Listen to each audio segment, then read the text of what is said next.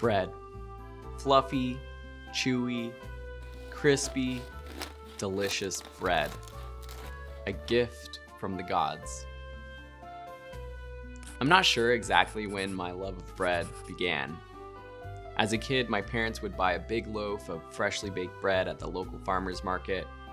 We'd sit watching a concert at the park, and my sisters and I would tear big fluffy bits off. And that was dinner.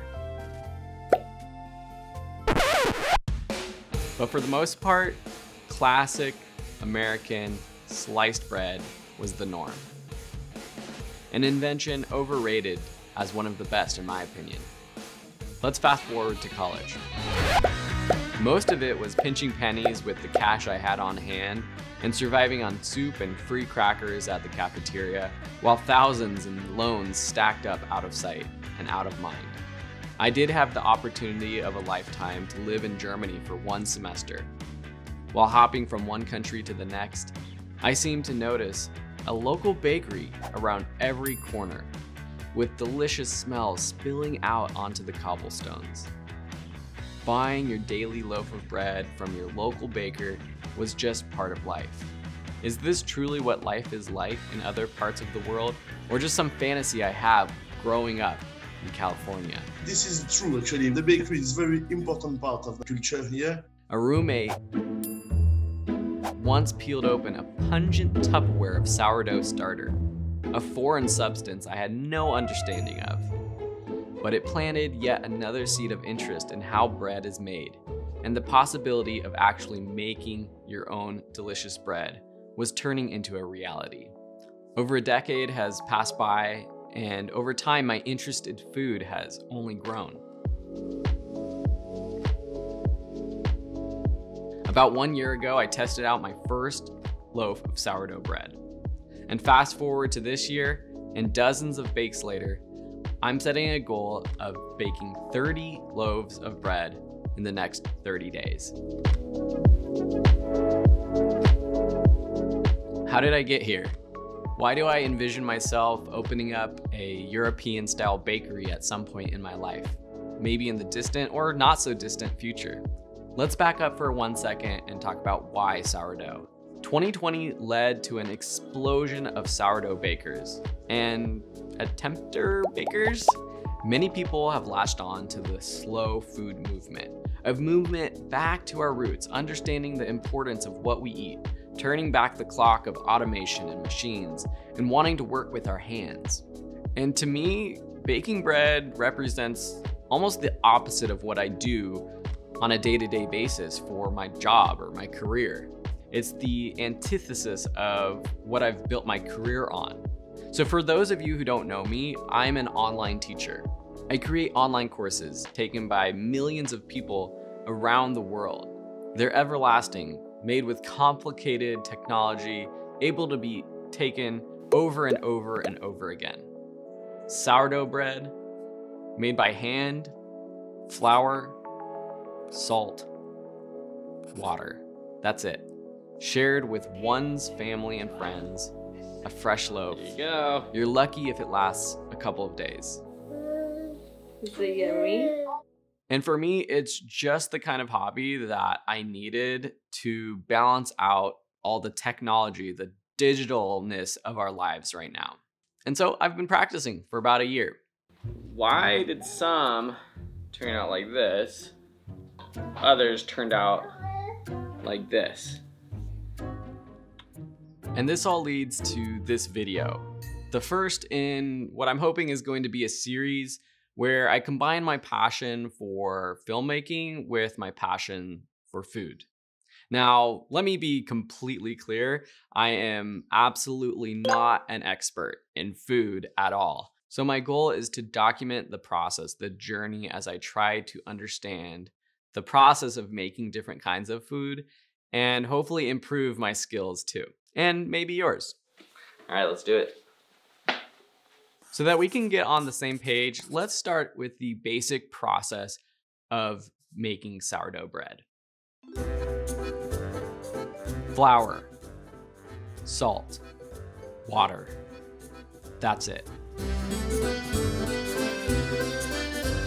Sounds simple, right? Broken down, each step of making sourdough bread is pretty basic, but when you're just getting started and you're just looking into this, diving into the blogs, listening to podcasts, watching YouTube videos, altogether it it is quite daunting and it's kind of confusing. There's terms that I still don't know the full understanding of, and if you're just getting started, I think it is confusing. And the biggest hurdle in my mind comes right at the beginning with the sourdough starter. Sourdough starter is a live culture of water and flour that becomes a breeding ground for natural yeast in our environment. It's what makes our dough rise, what makes our bread fluffy and airy with countless little pockets, and it also gives each different type of sourdough bread a different flavor. My first attempt at making sourdough starter was actually a few years ago, and it ended up in the trash can when after a week or so of trying to feed it, trying to get get it started, I thought that the vomit smell coming from this jar was a bad thing. Little did I know I was almost there. Which was actually really funny. During my second attempt, I kept at it, continuing to feed my new pet even when the entire kitchen started to smell like a sweaty locker room. Another benefit of sourdough is that it's a lot easier to digest for people who have a difficulty with gluten. Sometimes sourdough bread or naturally leavened bread is easier for them to digest. Whatever it takes to allow us to eat more bread, right? Beyond the starter, making sourdough bread is a simple series of steps. Mixing your ingredients, folding the bread to build up gluten and get air into the dough, which results in a bigger rise and more open inside of your bread, known as the crumb.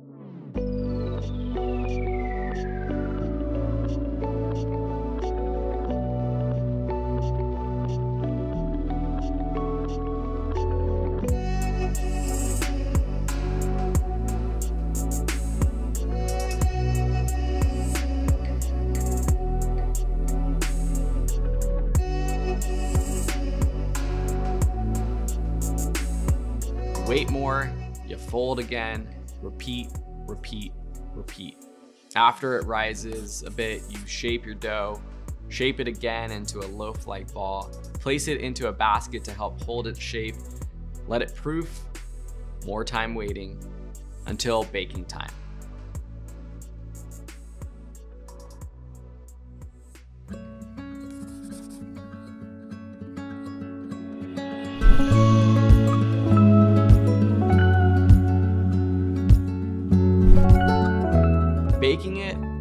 In the oven is always the most exciting part for me.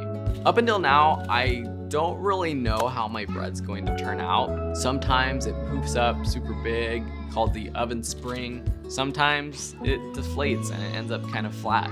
And that's something that throughout these 30 loaves, I'm hoping to improve on and have a better understanding of. You blast the oven to 500 degrees. For us at-home bakers, we place our dough in something like a Dutch oven, which traps any steam released from the dough and serves to create that deliciously golden crust. But not before attempting to make a fancy pattern by scoring the dough. This gives us some control over where the gas inside our loaf escapes, as it is greeted by the high temperatures of our oven. Then you wait. You wait to see, did it rise, did it fall? What's in there?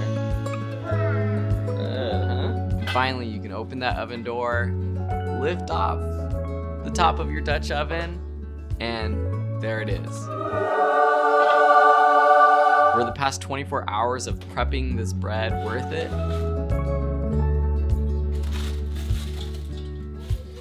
Creating a work of art that not only feeds our stomachs, but also our souls. Or you didn't, and there's more work to do, more things to understand, another attempt to make. To be honest, most of the bread that I've made tastes pretty good, and I don't think I'm bragging, I just think that anybody who attempts to bake sourdough bread, even if it ends up being flat or not have super open holes inside.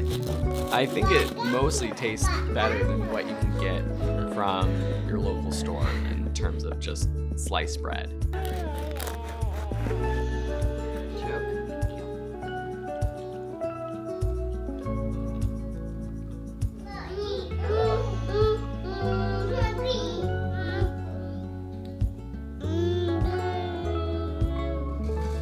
One of the things I've heard listening to the Sourdough podcast is that the sourdough community is so friendly.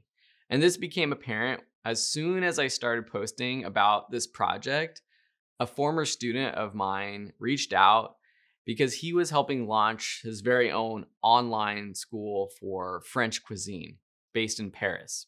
He offered help if I needed any, and I took him up on it. But the first question I asked him wasn't about the process of making bread, but it was about this vision, this fairy tale that we have of French families waking up in the morning to freshly baked bread that their papa picked up at the local bakery. Was this a reality or truly just a fairy tale? Out of all the, the image or the cliche we can think about France, eh, this is the one that uh, that is true. Actually, we still go to the bakery. Uh, I vow for uh, that. yeah, I vow for every that. day, and, uh, and the bakery is very important part of the of the the culture here. Okay, Isabel, that settles it. We're moving to France. Is it important to get better flour, or specific kinds of flour, and will that really make a big difference? What is important in the flour is the amount of gluten you will get in the. So what Got is it. important after is to to calculate the temperature bet- Mm, because what you mhm. want at the end when you finish your your dough, you want a dough between 23 to 25 degrees uh, Celsius. What are the things that go into getting a more open crumb like that? Whole White wheat, it will flour. be difficult to have an open crumb. Merci Cool. beaucoup. My takeaways. One, type of flour is important, especially if I want a more open crumb, which isn't necessarily the sign of a good baker.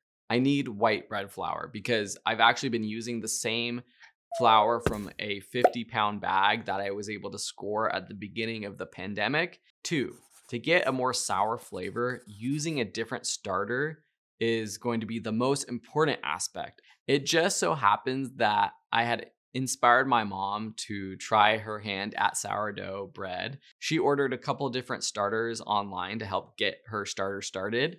Say that three times fast. And one of them is a more traditional San Francisco style sourdough bread. Three, precise temperature matters in determining if a loaf is going to come out or not. Another tip that my online teacher friends told me is to use the finger dent test. If it slowly starts to spring back and maybe doesn't spring back all the way, but part way, that means it's proved well and baked well. This call was a kick in the butt to improve my craft. Better flour, check. Higher hydration, check. Four loaves ready for bed, and now I know why bakers wear white. More time touching and feeling my dough, check. Hopefully it'll stay around 78 to 80 degrees. Better folding, check. Better shaping, check. Better scoring, check.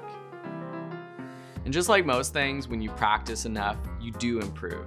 And so my loaves started to get better. They started tasting better, the insides started being more open. Bake number two it looks pretty good on the outside. It does have some nice air pockets in there. I'm excited about that one.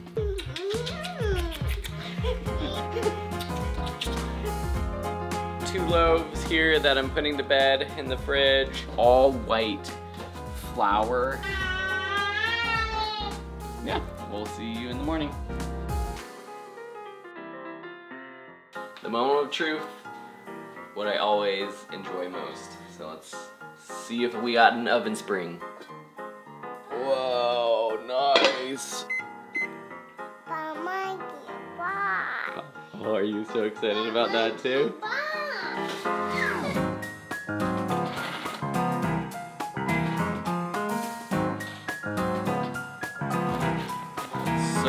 Fluffy. Wow. Yeah, we're gonna. What do you think about that? What do you think about that?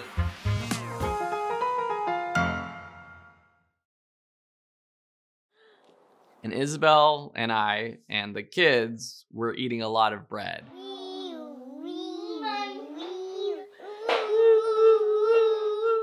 It would be impossible or improbable for us to eat all of those loaves of bread ourselves.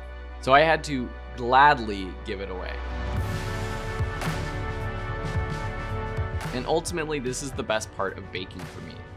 Not only is feeding my own family something that brings me joy, but sharing it with friends and neighbors has been quite an amazing experience. there you go.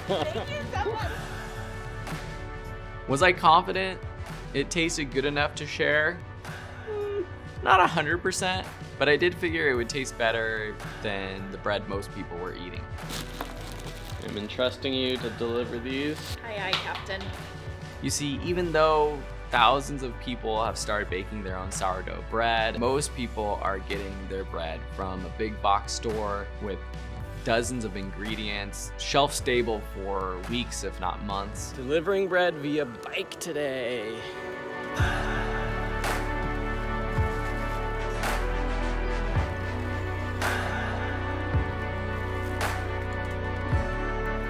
Asked my neighbors and friends to share a photo of the inside of my bread so that I can see what it looked like.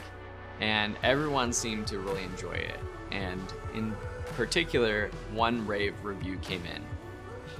I have to read you a review of my bread. Oh, is this gonna make it in your documentary? We'll see. I look terrible. Honey, you're so beautiful. Your bread reminds me of a sourdough I used to get from the bakery back when I used to live in San Francisco called Tartine. but that's like a pretty good compliment. Good job, honey. And I ultimately did reach my goal 30 loaves in 30 days.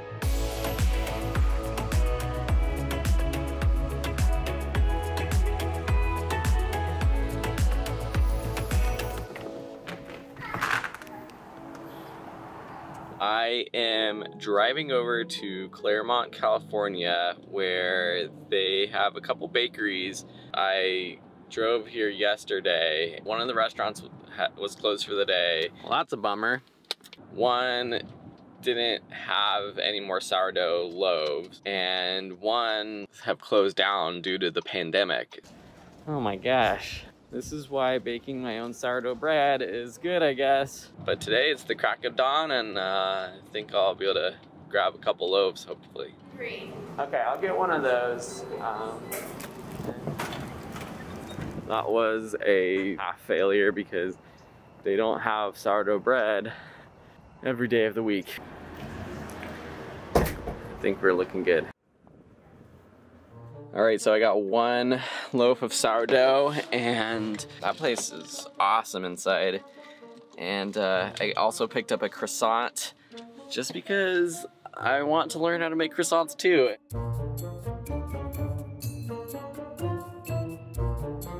Mine's like flatter for sure. Let's cut into them. Oh, you can even hear it. But they don't have a huge open crumb inside. I think my inside looks pretty good. Oh yeah, yours definitely has more holes. Taste this one first. There's an expert panel right here. Yeah, expert panel. Mama. That was the second one. Say that again? The second piece is more sour for sure. That's what I thought too. The first piece was just like kind of very subtle. You like the um, crumbs? No, no. You like mine? Wait, was the second one? Which was the second one? Mine, the more shower one. Yeah, I like that one. Honestly, I just feel like they're a little different. I think their crust is better though.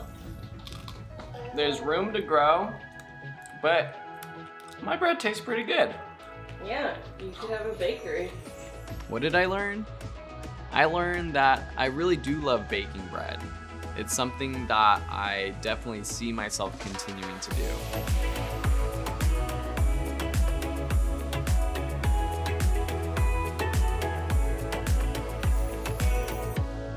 I am nowhere near being an expert. I think there's something that I lack in knowing what an actual bakery would look like. The process, the behind the scenes, the management, all of those things that to me don't sound that fun. For now, I imagine continuing to bake a loaf or two every week to feed my family and maybe share with my friends. I challenge myself not only to practice on my own, but to build connections with my community here locally as well as around the globe. Super excited because I sent a message to Mike, the creator of the Sourdough podcast. As far as advice for starting your own cottage bakery, I would just say, you know, make sure you do, you're doing it for the love of baking. You know, I, it's not going to be a huge money making scheme. So just make sure you're doing it for the right reasons. Uh, for you know, the love of sharing bread, good bread with your neighbors and your community. That's awesome. So awesome. I love coming up with branding and thinking about businesses. And when I started getting into sourdough, I came up with a name for a potential future bakery. I even ordered a stamp off of Etsy. And that name is copain, a French word for friend or boyfriend, derived from the word companion, which is literally one who shares bread with you. And I think that's the perfect way to end this story. We need to break bread with more people.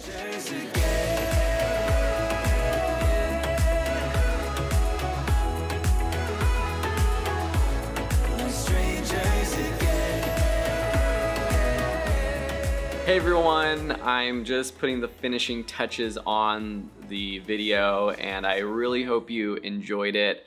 I had a lot of fun making this one. It's something, as I mentioned in the beginning of the video, that I'm excited about kind of sharing my passions and being a little bit more creative with what I do as a filmmaker and video creator. Part of that is creating this new channel and I'm doing it completely from scratch. So if you enjoyed this video, I really hope you can hit that thumbs up button, share a comment, let me know what you think, and of course, most importantly, subscribe so that you can get all of my new videos. I already have a few ideas for videos in this series, but don't worry, not all of my videos are going to be about food or sourdough bread specifically.